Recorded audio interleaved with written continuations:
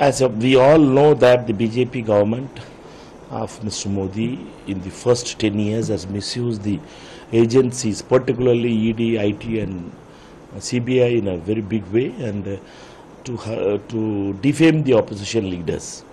Uh, people has voted them uh, out and they are not, uh, their majority got reduced. From 303 they had been they got 240 with the support of their alliance partners like TDP and the JDU, who were not earlier with them, joined and they formed a government now. That government again is starting this kind of misuse of agencies and again is the, the leader of opposition itself. We all know that the government now led by Mr. Modi is a weak government and Mr. Modi is a weak prime minister. Therefore, now the officers who are whom these people are trying to force on them or uh, force the government is trying to force them to take a, the illegal action.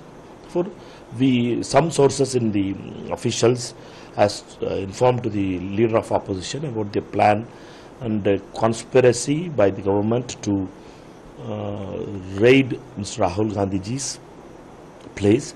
Therefore, Rahul Gandhiji is welcomed with biscuit and chai. Rahul Gandhiji as leader of opposition.